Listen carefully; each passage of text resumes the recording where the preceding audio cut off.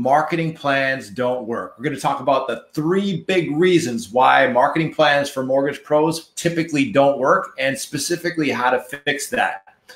Let's be real.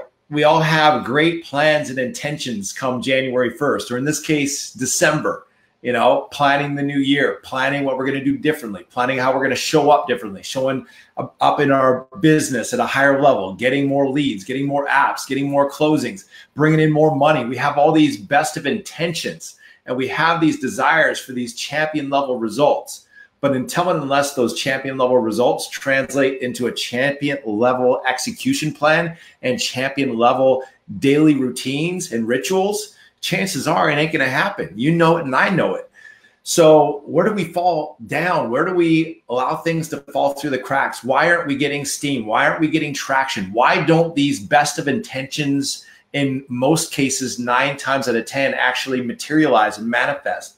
That's a very good question. I'm glad you asked. That's precisely what we're going to be talking about today is why we're not getting the traction and the income that we want out of our business? What are the things that make our plans ineffective, that castrate the effectiveness of our quote unquote marketing plans? Well, I'm going to cover three big reasons right here, right now. The first big reason why most marketing plans for mortgage professionals don't work is that they are too cerebral, too in your head. It's all this line by line information about you're going to do this, you're going to do that, you're going to take this action, you're going to take that action, you're going to get this number of leads from these sources and so on. But it's all in your head. There's nothing in your heart about it. There's nothing that captivates you, that inspires you, that gets you fired up about it. Sure, there might be an income target that sounds good to you, but do you really feel it? Do you really own it?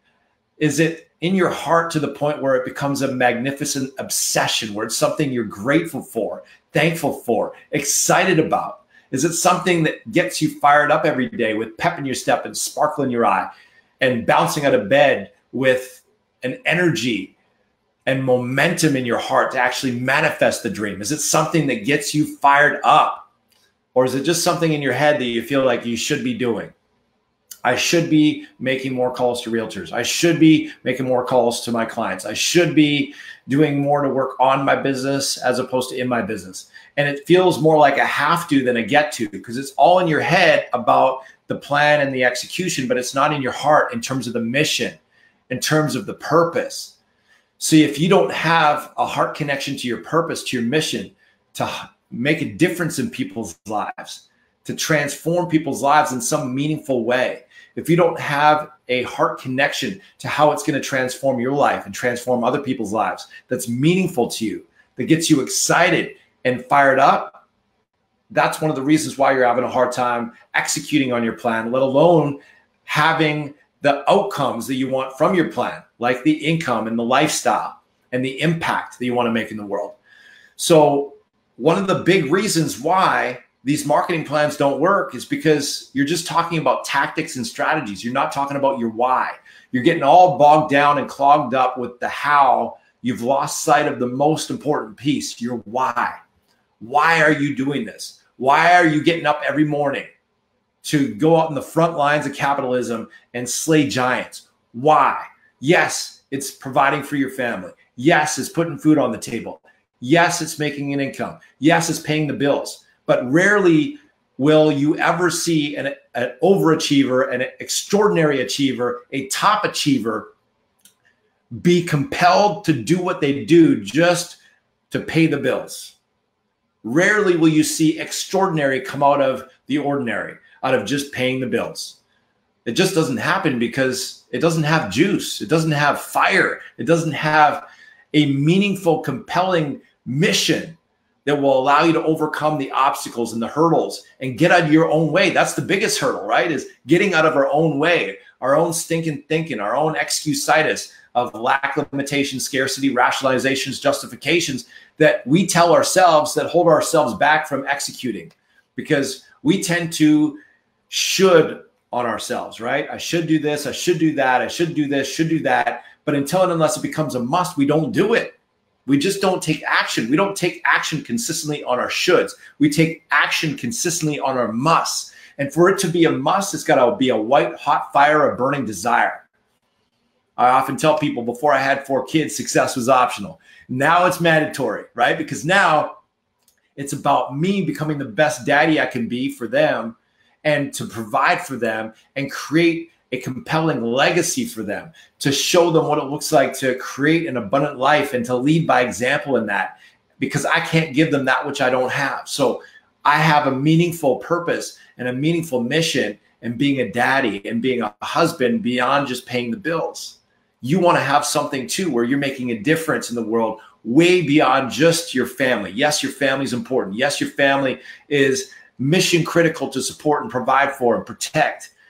And where you get the white hot fire of burning desire needs to be something even bigger than that.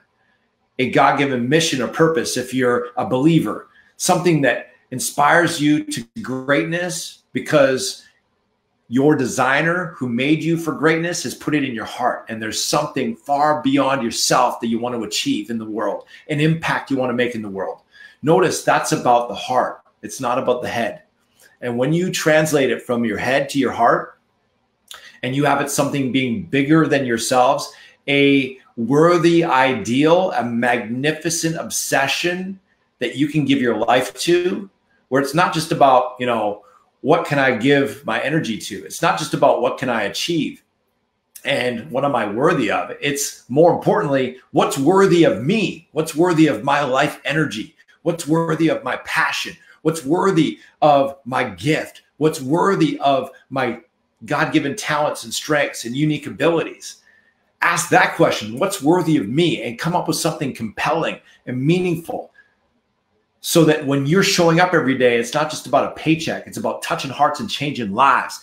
That's going to get you on fire. That's going to get you kicking ass, taking names, chewing bubblegum, crushing it. That's going to give you incredible achievement producing power. It's the nitro fuel in your rocket that's going to give you the energy, the impetus, the motivation, and the stick to itiveness, the too much grit to quitness to actually achieve your marketing goals you set in your marketing plan. You guys with me on that? So, that is the first reason why most marketing plans don't work. They're too cerebral and they're not connected to a compelling purpose in your heart. The second big reason is that they're too complex, they're too convoluted there's too many pieces and too many steps and you got to do facebook and you got to do twitter and you got to do linkedin you got to do instagram and you got to do consumer direct you got to do database marketing you got to do realtor marketing you got to do linkedin you got to do leads here and that and this and the other and all of a sudden it's like holy crap there's too much to do you end up doing nothing. You get overwhelmed it's like taking a sip of the fire hose and you end up doing nothing and all these lofty ambitions and goals don't translate to a daily routine that actually gets executed and implemented on. And if you do have it in your daily routine, you don't follow through because you haven't set up in your daily routine such that energetically you're not aligned to execute on it. Energetically, you're aligned to the urgent and important. Energetically, you're aligned to being distracted and derailed. So even when you do block schedule it, you don't implement it because the way you're block scheduling it is not aligned energetically with you following through consistently. And you're making yourself exceedingly vulnerable to the perennial distractions and interruptions of life. Have you noticed?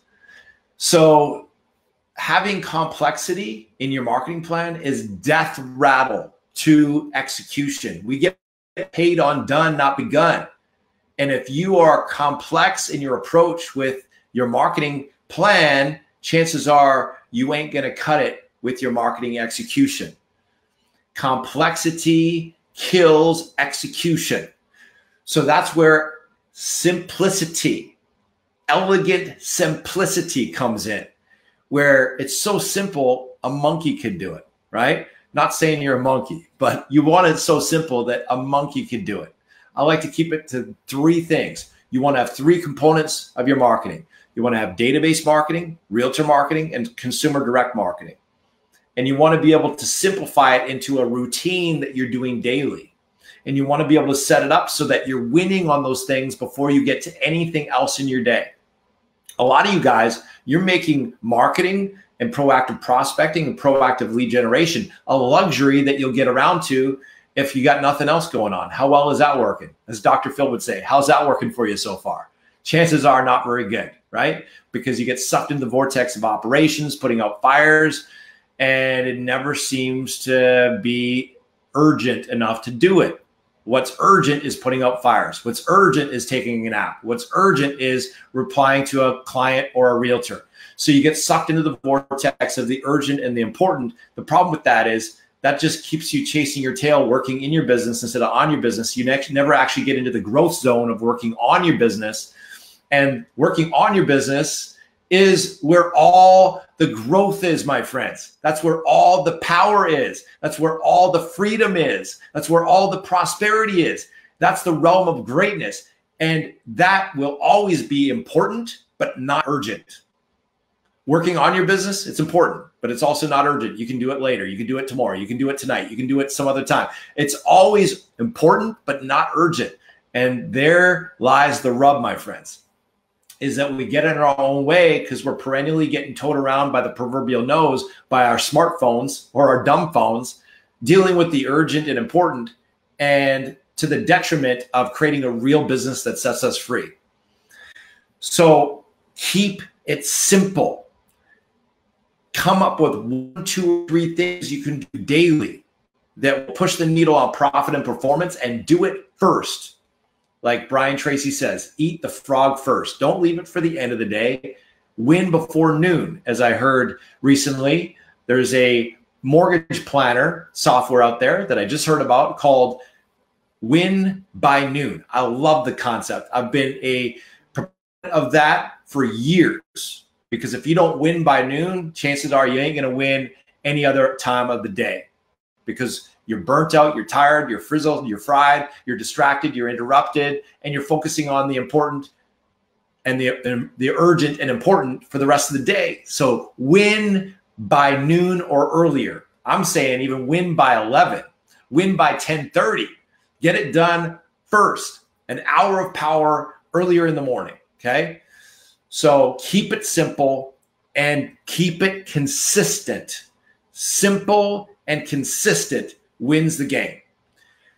The third reason why most marketing plans for mortgage professionals don't work is because they're too caveman, as I like to say. I'm sure that's proper English.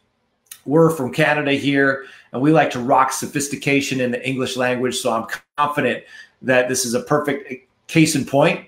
Caveman. It's too caveman. In other words, you don't have sophistication in place to automate. We do need some sophistication for automation and delegation so that you can get your business working for you while you're not working. A big problem with a lot of the marketing plans out there is you're cold calling realtors. That's caveman. Okay, calling the same 40 freaking realtors every Monday without a compelling reason to call. That's caveman. Not having a CRM in place that has compelling kick-ass copy and compelling reasons for people to reach out to you and you're just relying on cookie cutter crap from your company crm that's caveman okay? Not having a compelling reason for a top producer to want to work with you and send you all their business aside from great rates and great service that's caveman. Not having delegation to a top talent marketing admin assistant even if it's just for five bucks an hour so that you can remove yourself as the bottleneck in the equation. Uh, equation. That's caveman. You've got to be able to set up systems for automation and delegation. You've got to be able to get to the outcome the easiest pathway possible. And a lot of these marketing plans are so freaking complex and they get you doing it the hard way, doing all this lame caveman dark ages marketing from literally, you know, 20 years ago. It worked 20 years ago. It doesn't work anymore.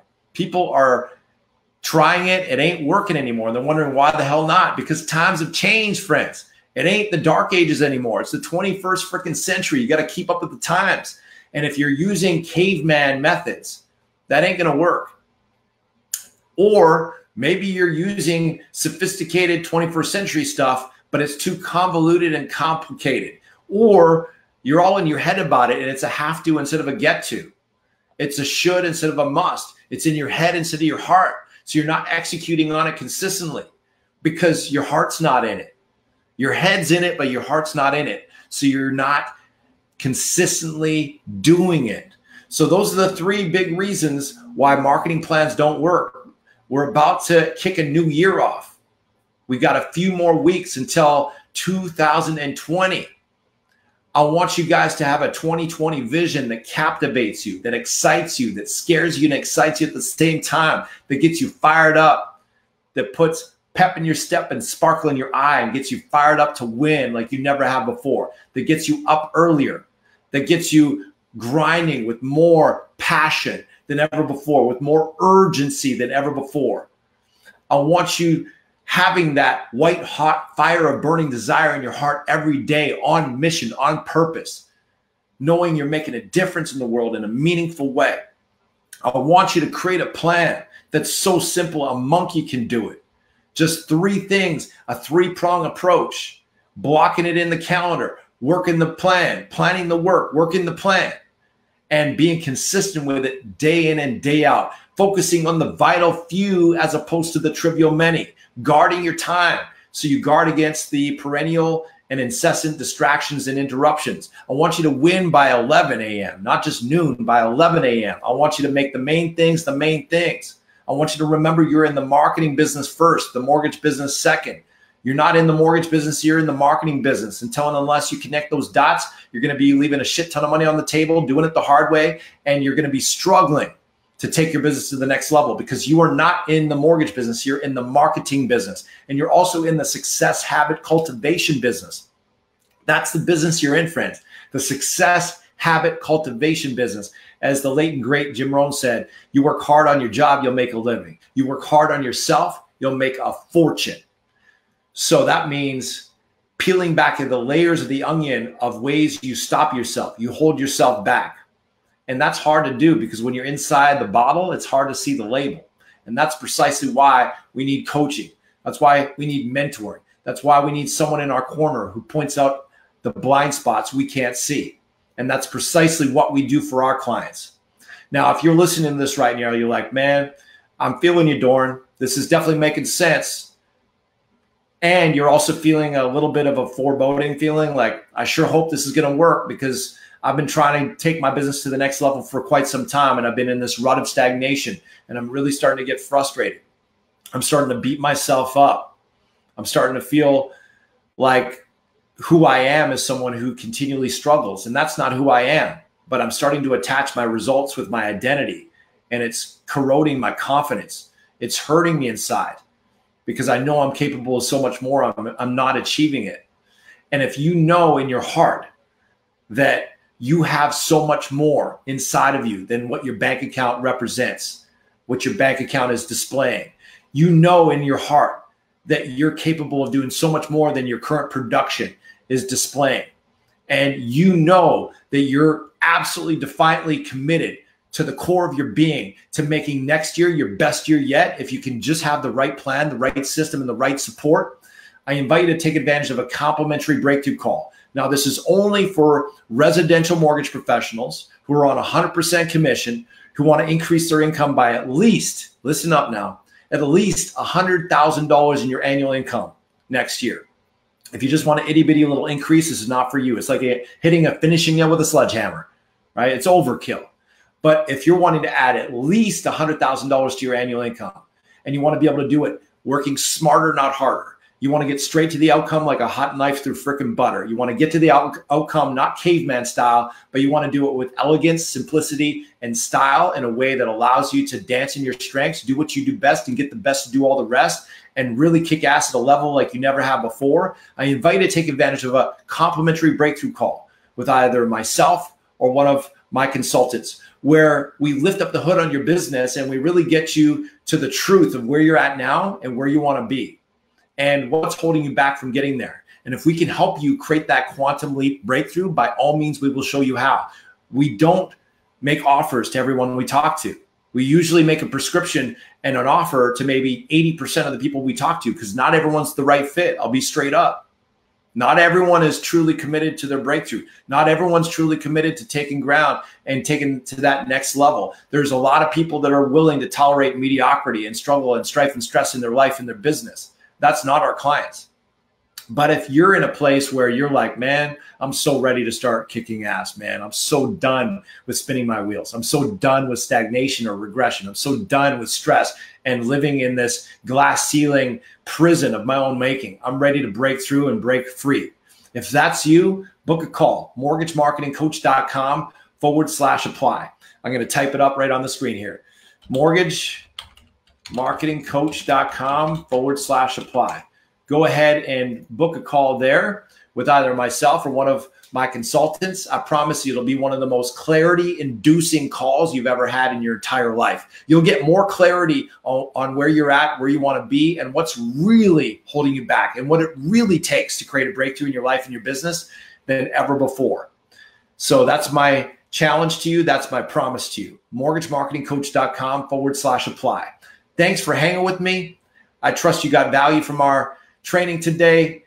Go forth, take massive action, bring massive positive energy to that action in the form of gratitude, enthusiasm, and certainty. Chances are you will get massive results, my friends. This is Doren Aldana coming at you from mortgagemarketingcoach.com for, from the Art of Mortgage Marketing podcast. Go ahead and book a call again. Mortgagemarketingcoach.com forward slash apply. Do it now. We'll talk to you soon. Make it a great day, y'all. Peace.